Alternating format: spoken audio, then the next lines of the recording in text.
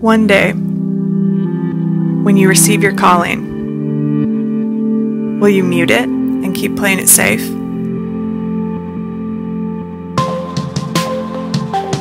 Or will you answer and say, God, here I am. My heart, my soul, and my hands are ready.